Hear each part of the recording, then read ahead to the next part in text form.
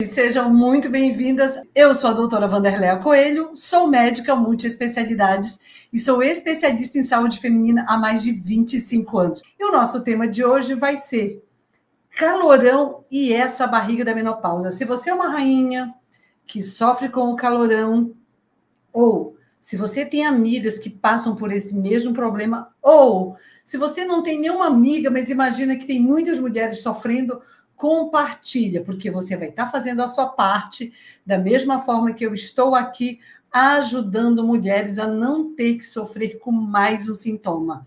Ok? Então, vamos lá. Vamos falar sobre calorão. Rainha, todo mundo pensa que calorão, que menopausa. Todo mundo não, né? Vai, estão exagerando. Muita mulher pensa que calorão, que menopausa é calorão. Que coisa louca, né? Aí elas diziam assim: ah, eu não tive menopausa, porque como ela não teve calorão, ela diz eu não tive menopausa. E tem aquelas que dizem minha menopausa já passou, porque o calorão já passou.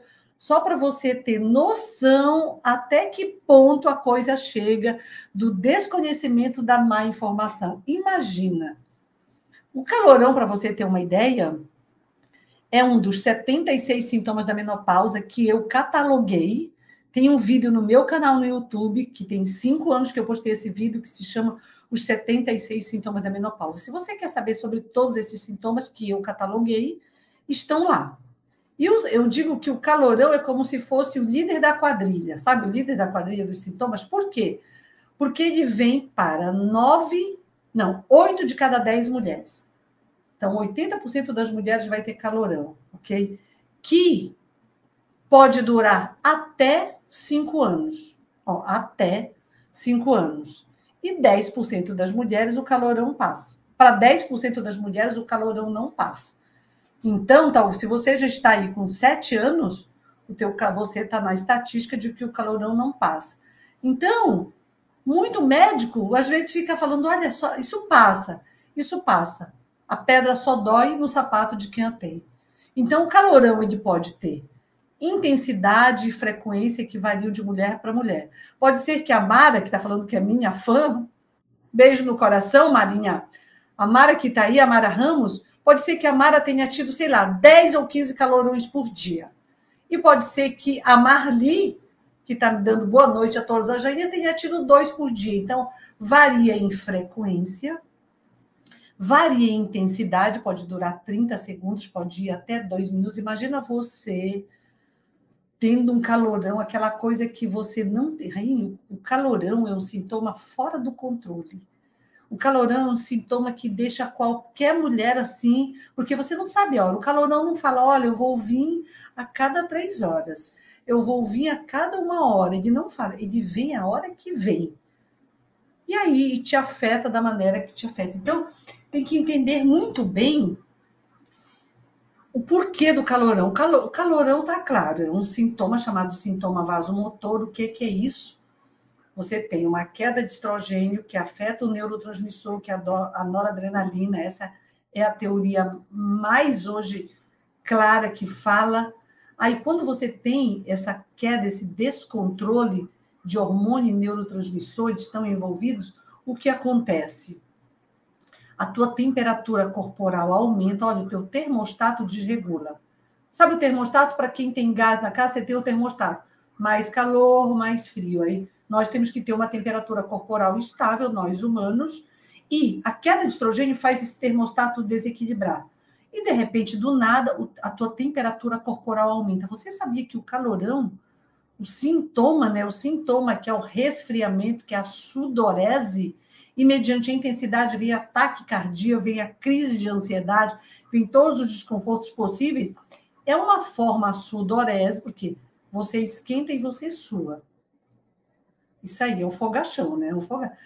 Isso aí é uma forma do teu corpo te proteger, te resfriando. Então, a sudorese nada mais é para baixar a tua temperatura corporal. Olha que perfeito. Então, tem uma alteração hormonal que altera o termostato, que afeta a noradrenalina, que faz com que você aumente a tua temperatura corporal e o teu corpo vasodilata. Ó. A vasodilatação faz com que você sue. Então, isso é o calorão, que acontece tronco, tá? parte superior do corpo. É aqui que ele se dá. Tá? Dificilmente tem um calorão no corpo todo. Então, você tem que entender de onde vem, por que vem, mas você tem que entender também que ele está fora do teu controle. Então, você não sabe se você vai ter calorão por dois anos, por cinco anos ou a vida toda. Você não sabe hoje se você está tendo calorão, se você está me assistindo, eu poderia estar tá aqui, se o calorão vai vir. Então, calorão pode vir. É imprevisível. Mas qual o grande problema do calorão? no presente hoje, o que, que um calorão traz para você de transtorno para a tua vida? Comentem no chat quem tem calorão, como é, como ele te incomoda e quem já teve, que eu sei que muitas das minhas alunas do programa Magra após os 40 já tiveram calorão e a grande maioria somente com a metodologia do emagrecimento metabólico, acabando com o Ali, acabou com o calorão e eu vou falar daqui a pouquinho para você em relação a tratamento, tudo bem? Mas coloca aí, enquanto eu tomo uma água, como que como que o calorão afeta a tua vida hoje, presente, de dia e de noite. Vamos lá. Eu já tive a sua. Olha só a Leila, eu não aguento mais ter esse calor. Nossa, Leilinha, olha a Leila que loucura. Leila, eu já ouvi algumas seguidoras minhas e me mandaram muitas mensagens dizendo que ela tem a sensação que ela está na, na recepção do diabo. Tipo assim, o diabo está lá né, no inferno e ela está na recepção, ou seja, que a vida dela é um caos. Muitas já me mandaram, que é péssimo. que mais? Eu estou com calor e o meu marido com frio, a Karen. Não dá nem para ligar o ar-condicionado. Olha que tortura. Incomoda demais a Márcia trabalho público, quando vê o calorão, começa a derreter. Ai, olha que loucura isso! Nunca, vamos lá, a Lília está falando, nunca teria emagrecido tão fácil. Olha que lindinha, Lília. Lília, beijo no coração. Eu falei de você esses dias aqui na live. A Lília emagreceu num tempo super curto, já 8 quilos. E a Lília tá aí, tá ótimo. Já falei dela muito na live da semana passada. que mais? Ó, tenho a noite insuportável. Não tá fácil. Me acorda à noite. que mais, Ainhas? Coloca aí. Terrível isso, né? Olha, eu fico imaginando. Eu já tive um pouco de calorão, pouco, foi pouco. Lá, quando eu estava formando a minha barriga da menopausa. Louco, né? Tava lá, eu estava na faixa etária dos 42 aos 45, por aí mais ou menos. E eu sentia que ela estava atendendo e sentia um... É horrível. Era pouco, porque estava começando e eu consegui acabar, né? Acabei com a barriga, acabei com o calorão. E, e eu sei o que você está passando, eu tenho, eu lido muito com isso. Como eu disse para vocês, são mais de 25 anos atuando no universo da mulher. E sem falar que eu também estou na menopausa, preciso muito. É isso aí, a trama, muito, muito bom. É legal você trazer, sabe por quê? Porque o calorão no teu presente hoje, ó, no teu presente, vamos falar de presente, ele pode te afetar à noite, ele pode te afetar de dia. Então, eu tenho. De, de noite, você não dorme, porque você deita, temperatura está gostosa, esquenta, você descobre. Quando não molha toda a camisola, não molha todo o lençol, aí você fica toda lá tendo que trocar. É o famoso frita, né? Cobre descobre. O maridão não dorme porque ele acorda como disse a rainha, imagina, tá frio, aí você não liga o ar-condicionado ou não liga o ventilador, tá calor, né? Então você fica naquela entre liga e desliga. Inha, você não dorme. Eu falei a live da insônia na semana passada que uma das causas poderia ser o que da insônia? O calorão. Então o calorão não te dá sossego. Presente, noite, um caos a tua noite. Aí no dia, Falei na live da semana passada. Irritabilidade no dia. Cansaço crônico. Você se arrasta, você está esgotada. Fora você estar tá esgotada de você não ter dormido à noite, como é o teu dia? Improdutiva. Como é o teu dia? Come. Come, come, porque você está cansada, você está sem energia. Isso, resíduo da noite. Agora vamos para o dia. Toda mulher acorda, mulher que se cuida, vai, lava o rosto. Ah, eu vou passar um creme. Tem que, a rainha tem que passar um creminho no rosto. Quer cuidar da pele? Tá, que tá seca aí nessa fase da menopausa? Então, Você vai passar um creminho e vem um calorão, você fica toda melecada. À noite, se você vai passar um creme no corpo para hidratar a sua pele, vem o calorão toda melecada. Você quer sair. Eu adoro passar um pó, como eu estou agora, de pó, de batom e de rímel com vocês. É o que eu uso. Não sou da maquiagem toda elaborada, não sou muito básica. E aí, você quer fazer uma maquiagem. Impossível fazer uma maquiagem. Então você não se arruma. Você tá a famosa cara lavada o tempo todo. Nada contra para quem gosta de cara lavada. Mas eu gosto de um batom, eu gosto de um pó. Sempre dá uma aparência mais bonita, né? E bonita, é bom a gente se sentir bonita. Então, você não se arruma, você vai trabalhar toda desarrumada. E muitas vezes, às vezes, até se teu jeito, você tá lá toda bagunçada, desanimada, cansada, de repente, lá no escritório, lá no trabalho, lá onde você tá, seja onde for, tá todo mundo, você fala assim, por que, que ninguém vem o calorão, tá todo mundo lá agasalhado, imagina agora que começa a esfriar e você tá de camisetinha, porque e você todo mundo te olha como se você fosse um bicho atípico. Eu tenho uma paciente minha que me marcou muito, ela falou, doutor, eu tô no estágio que eu sou ando de roupa de ginástica. Ela é o supermercado de roupa de ginástica, ela é em todo lugar com roupa de ginástica. Por quê? Porque ela transpirava tanto que se alguém perguntasse por que, que ela está toda molhada, ela fala, ah, acabei de sair da academia. Olha que, que ponto. Isso me marcou muito. Eu sempre conto essa história porque é muito louco até que ponto uma mulher sofrendo com um calorão passa por constrangimento, gente. É de dia e é de noite. Então, eu falei do teu presente, ok? Presente. E o futuro? O que quer dizer o calorão para o teu futuro? Você sabia disso? Você sabia de uma coisa que o calorão não é só um problema pro presente, de te deixar ansiosa, irritada, estressada, com insônia, com compulsão, sem energia, sem vontade de, ser, de trabalhar, difícil no teu. Não é só o presente, ele, é um problema para o teu futuro. Então, se hoje está ruim, a Cáries e outras gênias que falaram aqui, é, vai ficar pior. Como assim, doutora, vai ficar pior? Vai, sabe por quê? Porque a literatura hoje, tra trazendo-se de 2018 para cá, os estudos estão sendo muito claros, dizendo o seguinte: anota essa, Rainha. Se você não ouviu ainda, eu falando em outra live, quanto mais calorão, o que, que acontece com o calorão? Lembra que eu falei que os vasos dilatam? Você resfria, você soa porque os teus vasos dilatam. Só que a gente tem a mesma quantidade de sangue circulando, circulando o tempo todo. O sangue está lá, indo e vindo. X litros de sangue estão circulando, circulando. Quando o sangue precisa te resfriar, ele falta aqui, ó. Falta no teu cérebro.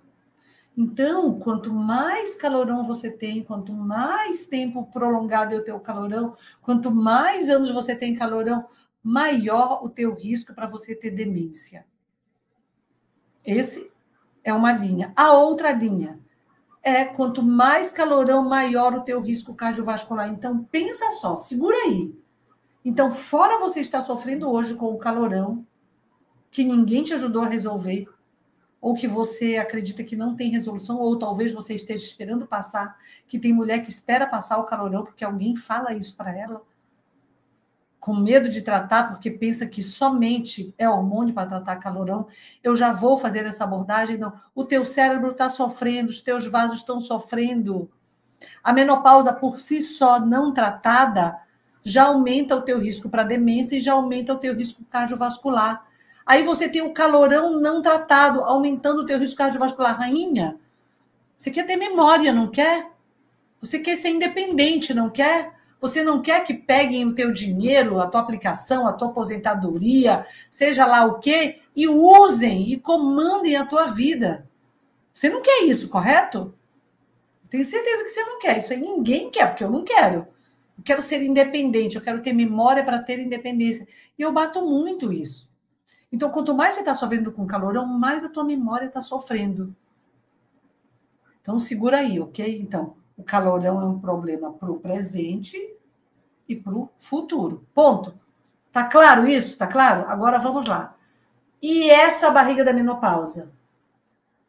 Que eu venho falando desde a semana passada para você. Essa barriga, você já sabe não li, mas depois eu vou dar uma olhada se eu conseguir, que essa barriga da menopausa é um foco de inflamação, ok? Inflamação 24/7. O que, que é isso, doutora? Para quem não sabe, você está inflamada 24 horas, 7 dias na semana. Você não pode esquecer disso. O que, que é isso? Toda a gordura que está aí, essa gordura não é subcutânea. Subcutânea é que fica aqui, ó. Por fora, é a capa.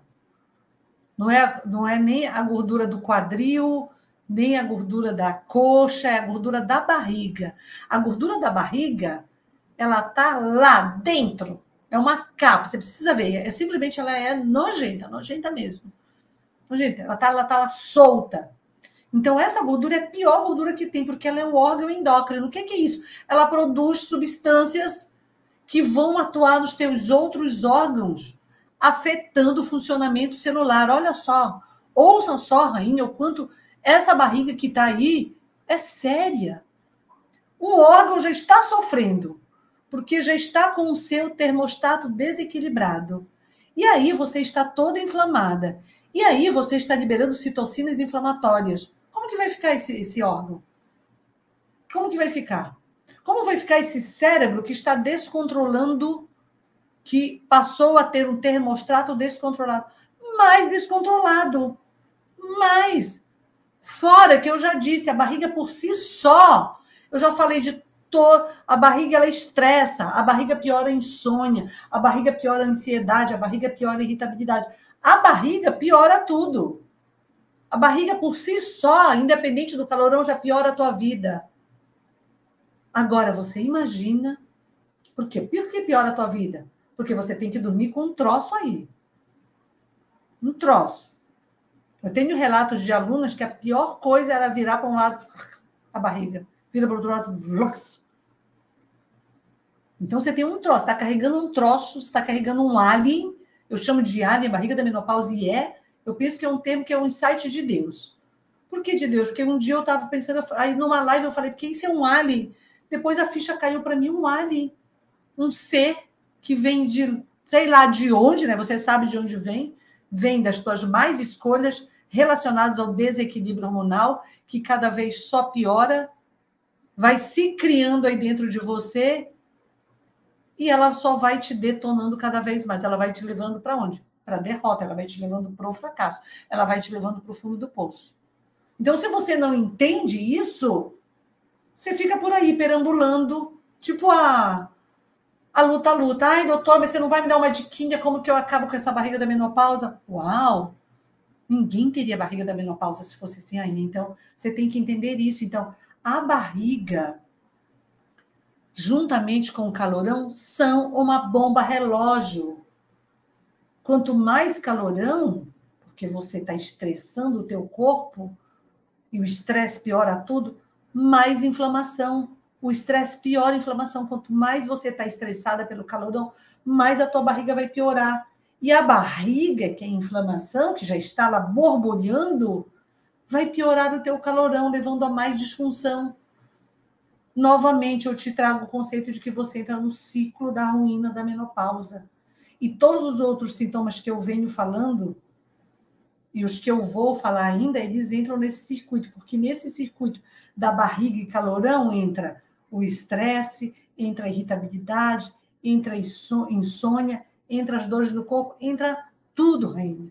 Porque se você não dorme, se o calorão não te deixa dormir, a tua imunidade vai para o chinelo.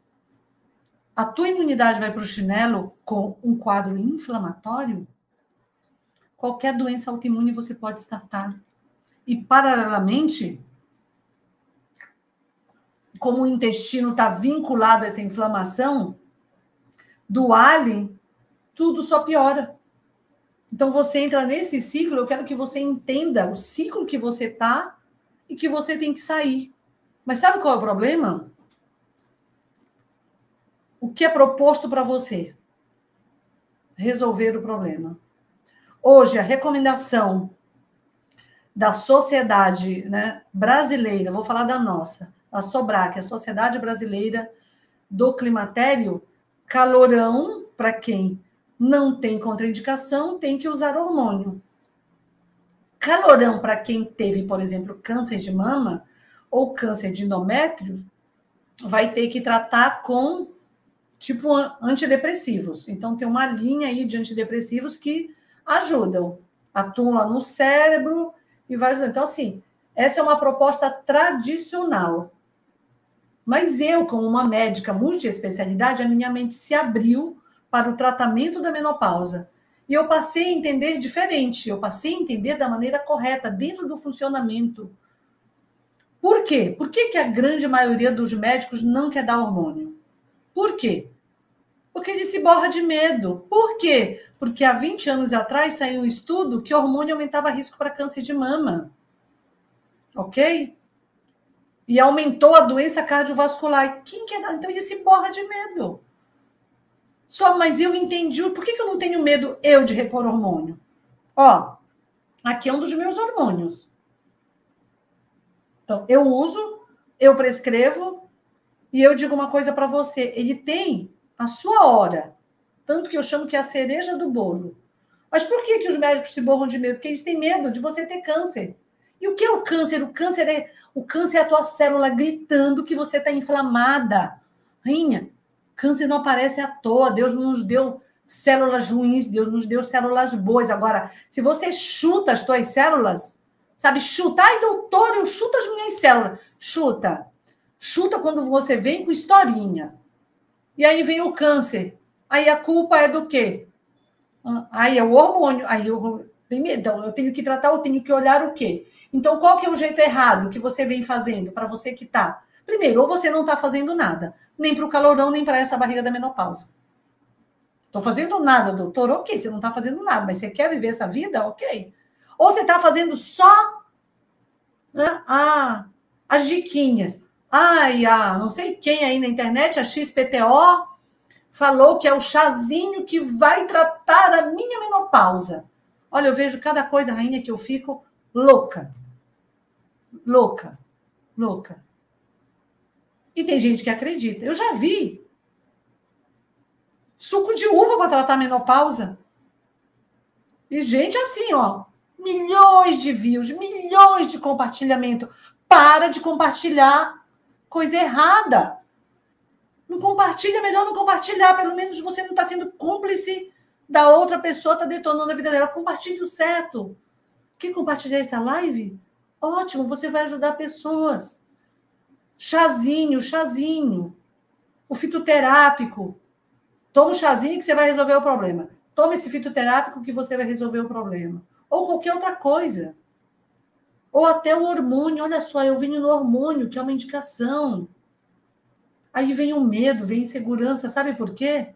Porque a base, o terreno biológico, que é o corpo, está mal para receber o hormônio. Se você rega o teu terreno e ele está cheio de erva daninha, que é inflamação, aí você põe o hormônio, vai crescer o quê? Erva daninha. Se você rega o corpo que está desinflamado, vai crescer margarida, é o toque. É o toque, rainha. Então tem que entender uma coisa está errado, entende? Você tratar dessa forma, você não vai resolver com certeza a questão do calorão. E quando você toma hormônio, que você melhora. Ai, doutor, eu tomei hormônio, eu estou com a barriga da menopausa, eu estou com 20 quilos a mais, se você me falar aí. E o, o hormônio não melhorou. Por quê? Porque você está inflamada. Ah, eu tive que aumentar a dose. Por quê? Porque o teu corpo não está respondendo. Então você tem que entender isso, que tratar da maneira errada só vai fazer com que você piore o teu presente, toda a tua qualidade de vida e o teu futuro, o futuro não é o futuro a Deus pertence não, não tem essa. O futuro tá aí, o futuro tende a ser sombrio, o futuro tende a ser difícil. Se o presente está difícil, rainha, vamos lá. Se o presente está difícil, e se você não está fazendo nada, ou se você está fazendo errado, como vai ser o teu amanhã? Vai ser pior que hoje. Como vai ser o teu depois de amanhã? Pior que o amanhã, que vai ser pior que hoje. E isso segue. Então, não está fazendo, está fazendo errado, você tem que olhar. Isso é a consciência que eu falei para você no começo. Porque quem tem aqui que tomar a decisão é você. Por isso que eu falei, eu estou aqui para ajudar a mulher que quer ser vencedora. Não mulher que está aí fadada, que, que se tarjou e traz um monte de historinha para continuar sendo derrotada e fracassada, tentando, de, tentando justificar isso aí. Não. Porque tem o jeito certo. E o jeito certo hoje é para calor. Se tem calorão e se tem a barriga, se acabou com o calor, eu falo, doutor, se eu, se eu acabei com a barriga, se eu acabar com a minha barriga, se você me fizer essa pergunta e sobrar ainda calorão, aí sim você desinflamou, você pode fazer uma boa modulação hormonal, se você não tiver contraindicação. Mas se você tem essa barriga da menopausa, não tem sentido você ficar dando murro em ponto de faca, buscando todas as opções para você tratar calorão, porque o teu corpo não vai responder, porque o teu corpo está brigando com isso, porque você está estressada. Você sabia que o estresse por si só é um disparador de calor? Só o estresse. Tanto que muitas vezes, quando você tá, para para pensar em situações de estresse, como o teu calor piora. Então, tem que tratar? Tem que acabar com essa barriga? Tem. Então, quando você pensa nesse sintoma que você está apresentando, o calorão, o calorão independe do teu controle, o calorão está relacionado ao desequilíbrio do termostrato, do termostrato pelo desequilíbrio hormonal. E considerando que a inflamação gerada pela barriga piora o desequilíbrio hormonal, não tem como você pensar e não atuar aqui, ó, na raiz do problema. Senão você vai perder teu tempo, perder teu dinheiro, aumentar o teu risco, rainha. Aí você está aumentando o teu risco mesmo. Porque um corpo inflamado, o fígado está sobrecarregado. Quem tem barriga geralmente tende a ter problemas no fígado.